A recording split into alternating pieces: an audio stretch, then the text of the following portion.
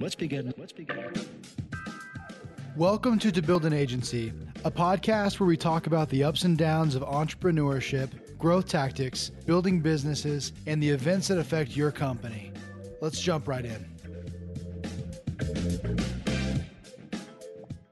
Welcome back to the podcast. We are on episode 12, and I'm sitting here in the studio with Attilio. What's up, guys? This is the week of Fourth of July. We're actually recording this on Fourth of July, so this is like literally we're we're recording this on Tuesday. I'm putting it out later today. Uh, Yeah. so we we kind of messed up and uh, didn't record on Sunday when we when we normally record, but that's okay. Oh, yeah.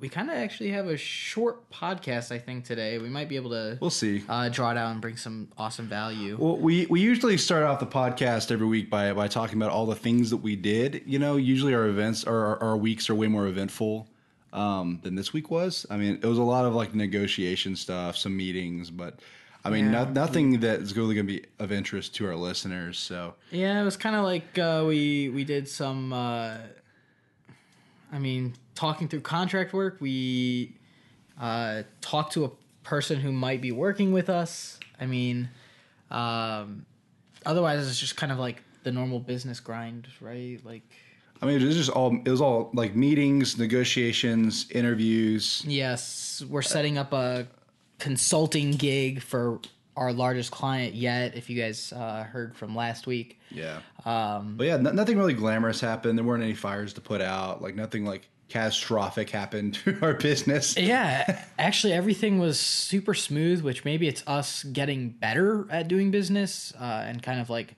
managing, doing the technical work, doing this, that, and the other. So, um, I can I can tell you for sure. Like I, I'm definitely improving in my new role. So good, good. yeah, yeah, yeah. I mean, you know, I, like for for new listeners, I mean, I, I started off uh, with this company as the the kind of like the the chief creative officer almost. Like I, I was really over creative and and graphic design and um, photography, videography, that kind of stuff, and um, we decided not to offer creative services anymore. So I've had to I've had to adapt into the world of social, and it's been it's been kind of a a, a roller coaster, but it's been good. I think you've been doing good. So Yeah, a, a lot of our a lot of our campaigns are doing well, and I'm just happy with how things are going. But yeah, things are definitely going a lot smoother. I would say. And I mean, also being an owner, you know, you get to wear a bunch of hats. Yeah. So it's just something that you know we need to do. You don't, you know, in business, you don't always get to play to your strengths if you're the owner. Like sometimes you you also have to,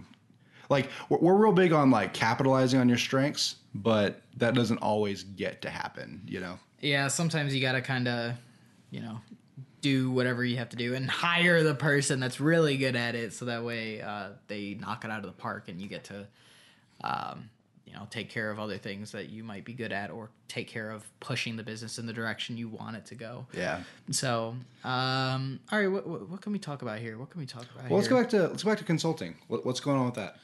Um, nothing. It's a negotiation right now. It's in negotiation phase. It's a billion dollar company that we're working with, or that we'll be working with.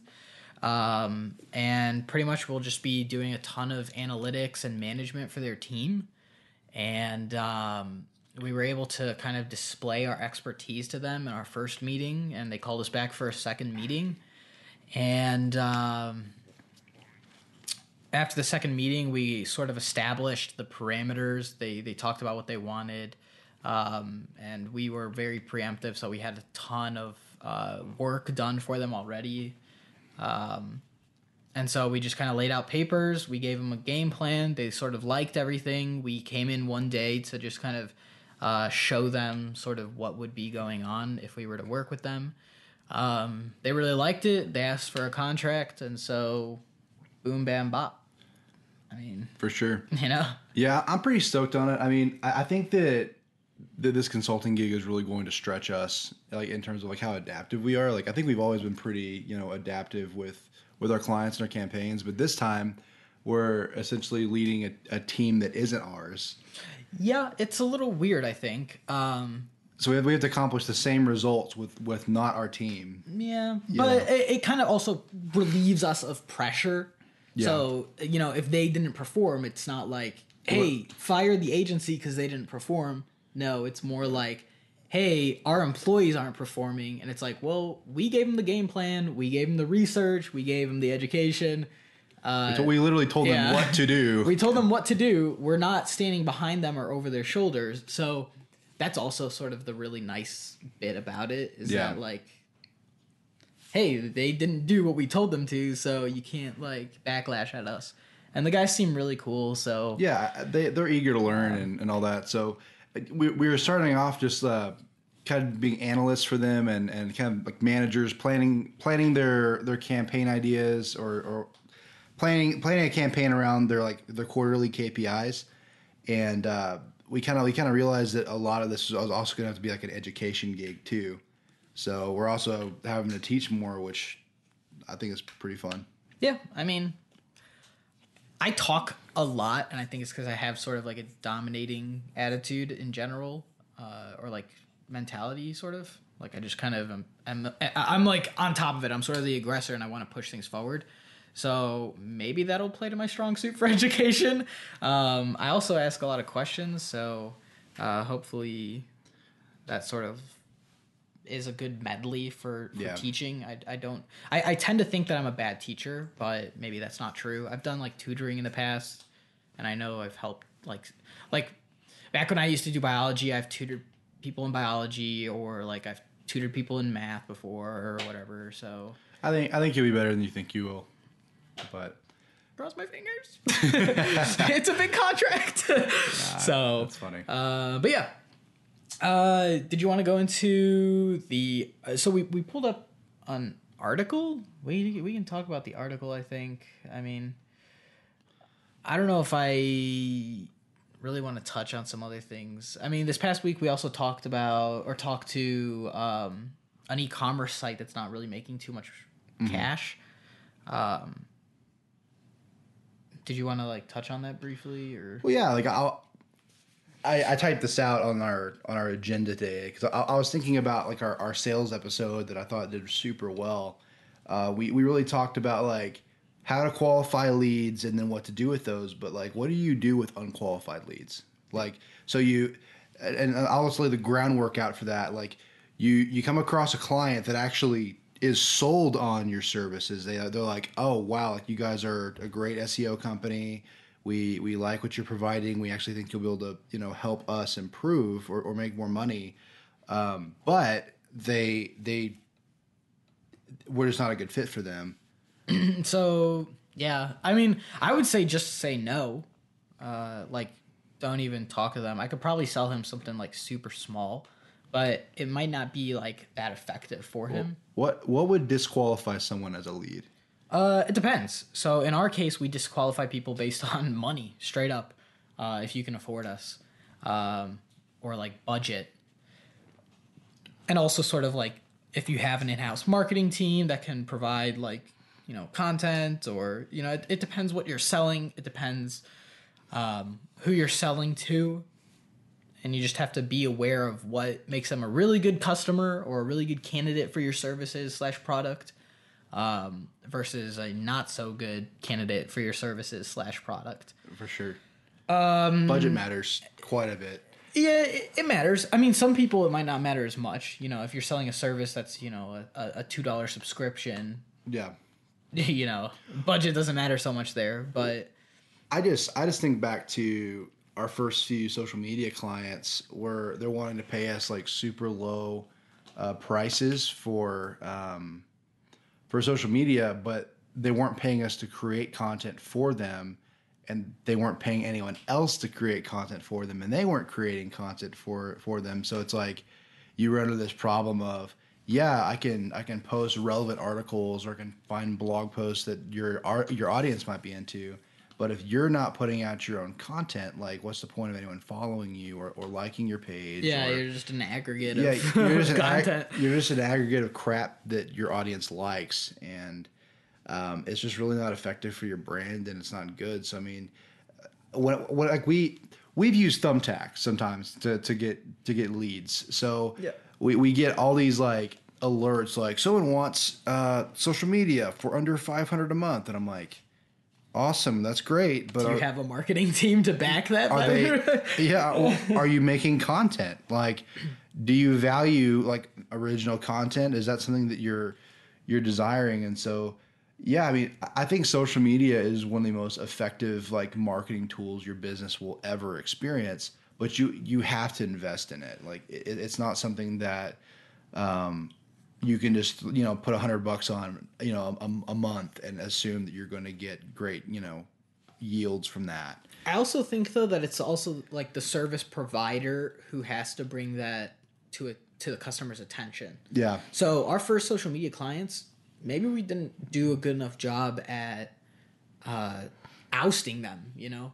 Well, I think I think something a mistake that we made was we we got too eager to get clients to try services we wanted to perform with.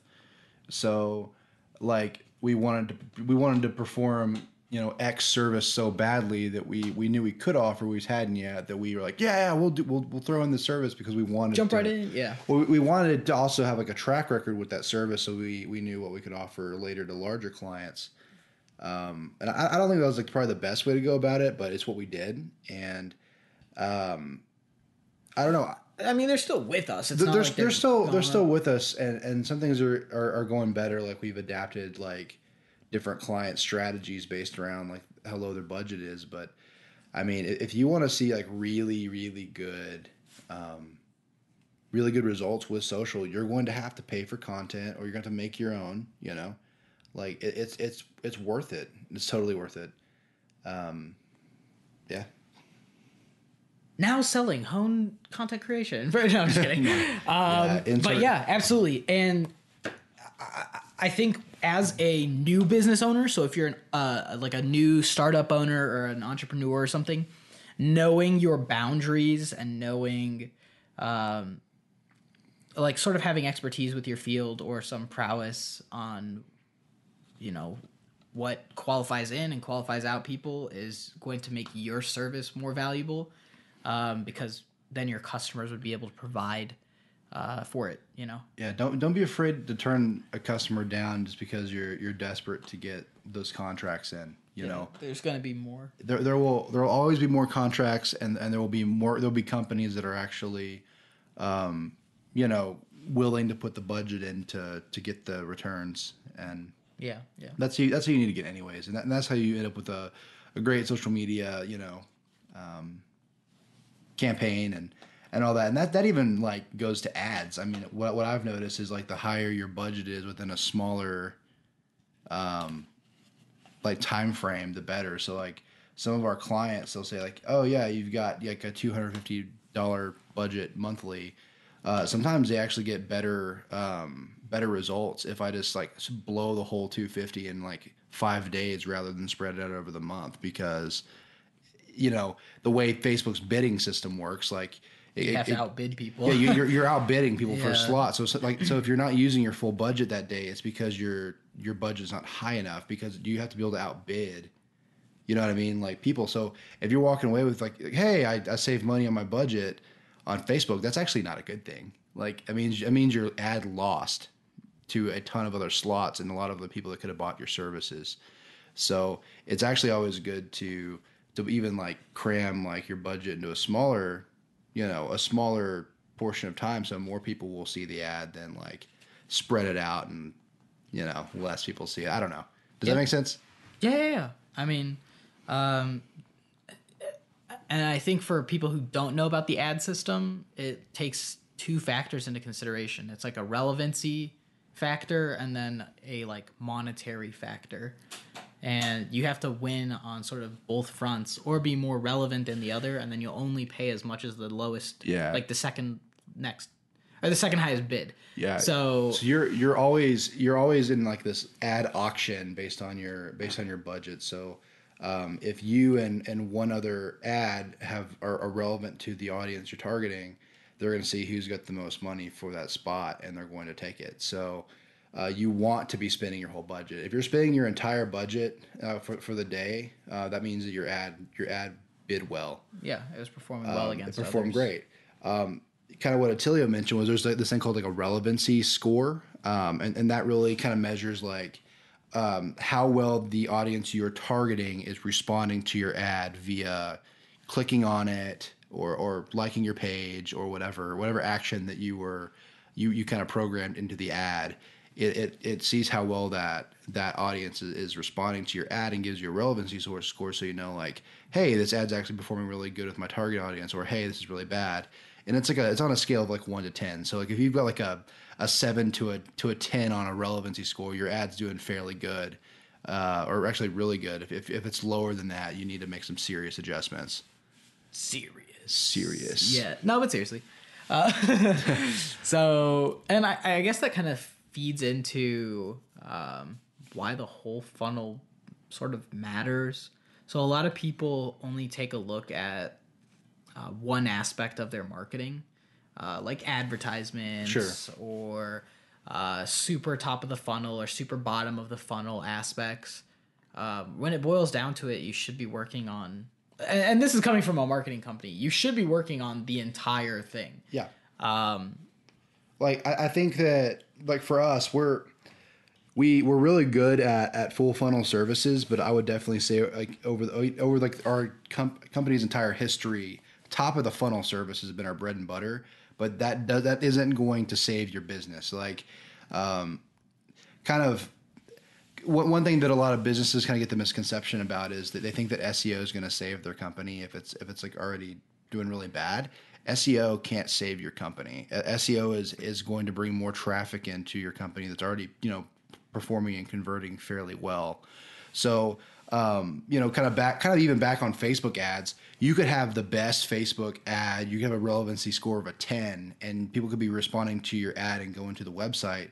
But if the rest of the page doesn't convert well, you're not making any money. yeah. You know what I mean? Like Probably losing money. so you know? so now you, you have to learn to determine like am I am, is you know we hear a lot of people say well Facebook ads didn't work for me and I'm like well was it the was it the ad or was it the website Yeah. like like what what was it like did you were you able to check your relevancy score like how did it perform did you use your whole budget that matters What conversion rates were you getting? Um, what can yeah what conversion rates were you getting so like the other. You may be having incorrect expectations out of how much you need to spend to get one sale.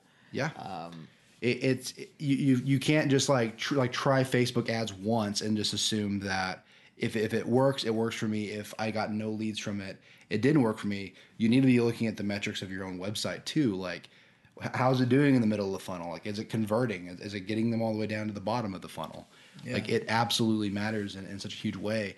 Like, it, your your website has to be optimized to to convert. You know, so that that's either it has to be optimized for you to to, to receive those emails or those phone numbers that you need to get to, to call those leads or or if you're running an e-commerce site that they can come and, and buy that article of clothing that you're selling or they can they can order whatever you know that, that you're trying to sell through your e-commerce site Yeah, so and that goes for inbound or outbound methods, Yep. right? Uh, so so be very aware of uh, your buyer's journey, right? Um, if people have to come from from off of the street, maybe make it very apparent for them to to get to you from off the street, or if um, and you know that would be the top of the funnel, quote unquote. yeah Um, and then you know once they're your customer, make sure you're you're continuing to talk to them. Have some sort of email system. Have some sort of uh, some sort of champion system where these guys where, where your customers become champions for you Yeah. uh, or start referring you to their friends somehow so uh, business goes well beyond being a customer and it happens well before they even know about you yeah so um, it's it's very important to know all of the steps in there. and that kind of leads into like our article today um, i think another like extremely amazing benefit of hiring an agency is that if your agency is is doing really good at staying current they're going to be able to to adapt your campaign to like your needs in that moment Yeah, as things are adapting and it's sort of also the reason why you hire an agency. I think. Uh, you know, it, it, it alleviates red tape because they can move quick generally, and they bring a level of expertise and innovation to the table that uh, sort of a larger company or maybe even a small business may not even be able to provide. Uh, so hopefully that's why you're hiring an agency. Uh, you know what I'm saying? So our article today is actually what is it titled? let's see Four things. sorry It's uh, four things uh, in marketing that you need to stay current with, I believe, something like that. Yeah. It's from Think with Google. Four things you need to know about the future of marketing. That's what it's called.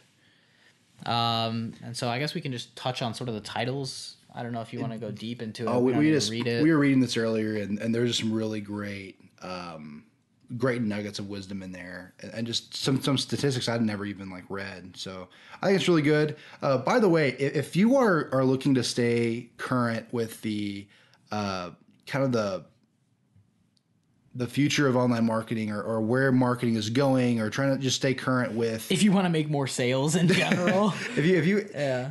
yeah, if you're trying to understand like consumer behavior and, and what all is happening now, you need to be subscribed to Think with Google. It is amazing. We we read articles from Think with Google constantly and, and we're learning and, and growing and adapting because of them. Um, so I think it's great for sure. But um, this one's really kind of talking about um, mobile marketing and, and where it's going and, and what's happening to it. And so one of the things that this article was talking about, which I thought was astounding, is the ways that people are, are going to be getting assistance will be evolving. Um, so it says mobile has conditioned consumers to turn to their devices in the I want to know, I want to go, I want to do, I want to buy micro moments. Now, the ways people get assistance will evolve too, from typing on devices to speaking to them. For example, in the Google app, 20% of searches are now by voice and that's a preview of what's to come. So 20% of, of the Google Apps searches, one fifth of them are, are by voice. Yeah, and that's actually not surprising at all. I mean, I I actually posted about this a couple days ago on LinkedIn um, about how big voice search is in the B two B environment. I mean, people are using voice search in their offices, at home when they're by themselves, uh, and it's staggeringly in some of the higher echelons of uh, wages. So uh, you know, this is being used by some of the some of the people who like have to go, have to get things done, right? Uh, they're in the car, they're they're texting, they don't want to stop texting, you know, so they just do a, a quick voice text or something, uh, and then do a quick voice search, like Mexican restaurants near me, right? Uh, if if you want Mexican food, so you know the, these things are increasingly being used, and uh, lucky for us, there's a voice search SEO uh, that you can actually start implementing um, and it's it, it, it's an awesome sphere. It's it's really cool. It's a place to go. I have no doubt in my mind that twenty percent of searches are now being done by voice. Well, so I've got a like my, my dad is 67. He just turned 67 this week. And uh, last Christmas, we actually bought him one of those uh, Amazon Alexa, t- like the, the black tower thing with the speaker on it that you can set up and ask questions, whatever.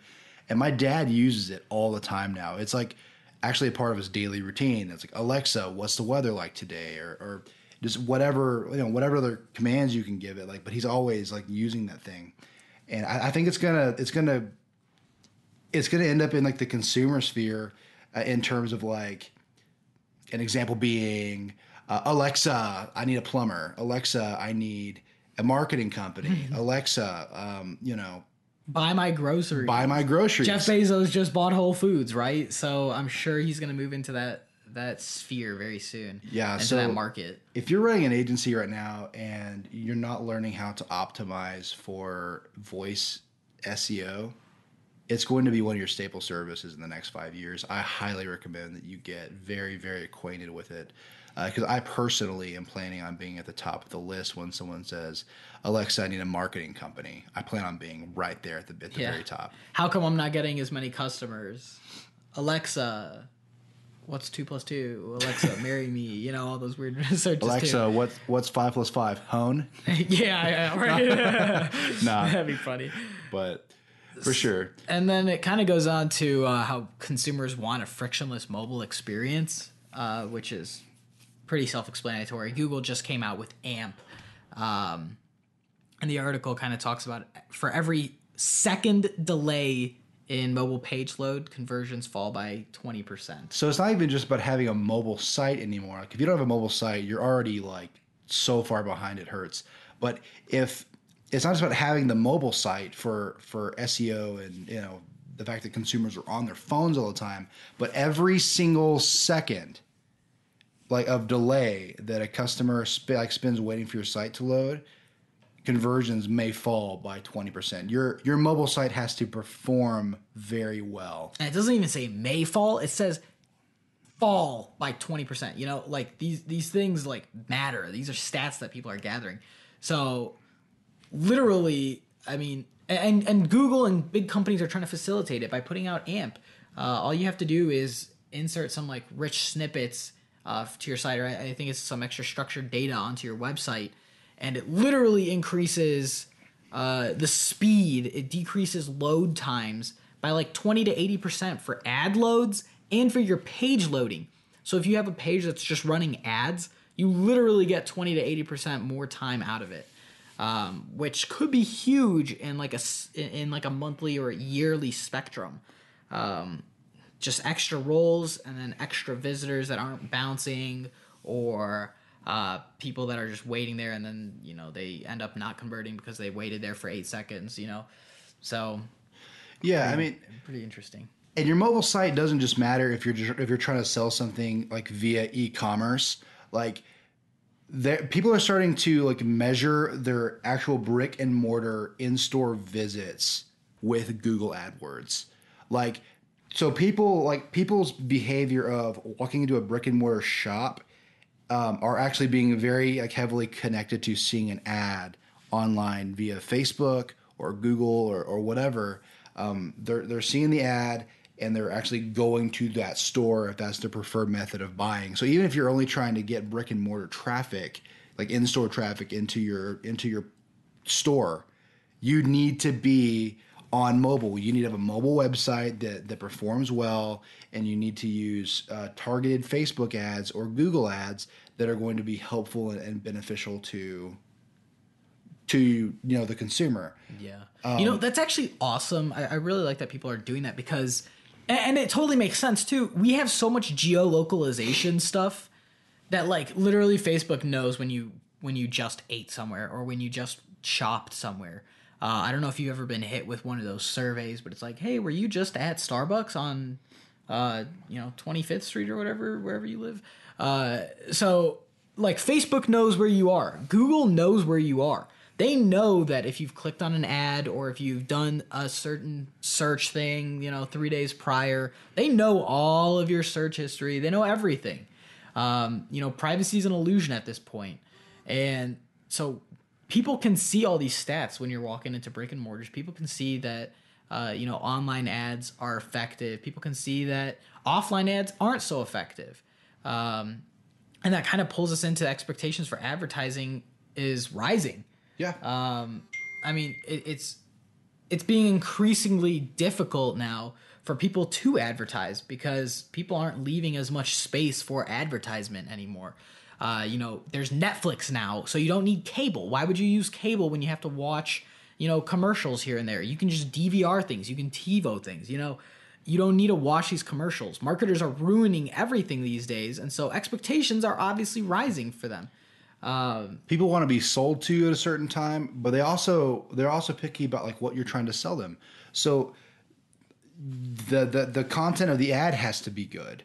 The the placement of the ad has to be perfect. And on top of that, they need to be interested in the in the kind of ads that you're you're showing them. So an example of this is I've noticed recently I'm getting nothing but online marketing advertisements. All these SEO companies, uh, I get HubSpot ads constantly.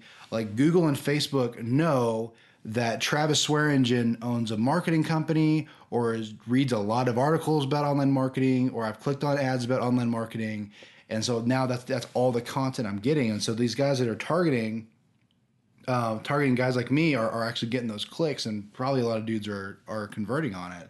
So your mobile experience also matters with your ads because you have to you have to tailor the ads and the and the content of the ads and what you're selling in the ads to the people that are wanting those specifically. So you, you need to understand your target audience and and optimize your mobile experience for them. Also, a further solution is using content to deliver an advertisement without it being an advertisement.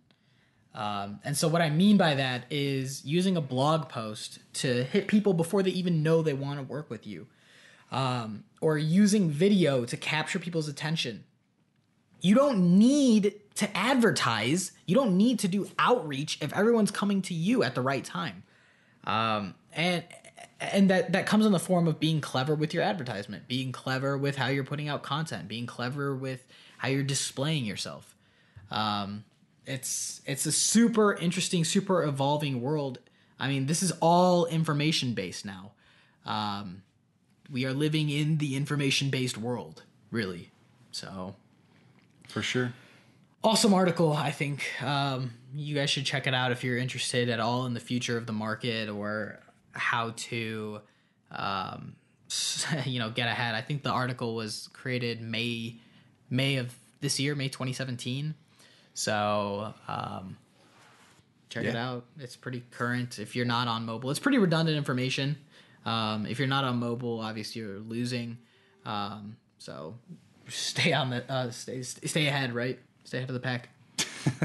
For sure. Well, we're at 32 minutes. I think the uh, the episode was longer than we thought it was going to be. Yeah, we managed to draw it out, I guess. I don't know.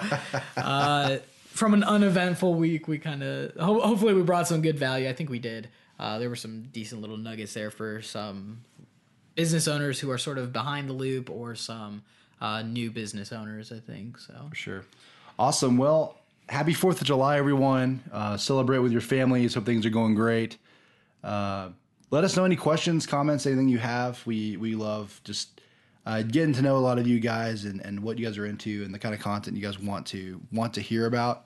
Yeah, we're at about 500 monthly visitors right now. For sure. So this is like beautiful. It's we hope growing. to eclipse it this month. Uh, I'm thinking 750 at least, maybe even a thousand this month. Maybe if we do some pushing for it, who knows? For sure. I, I think I think something that I really want to see is um, maybe some more targeted educational episodes. Like I, I think our I think our most fire episode that we've had so far was the sales episode. Really?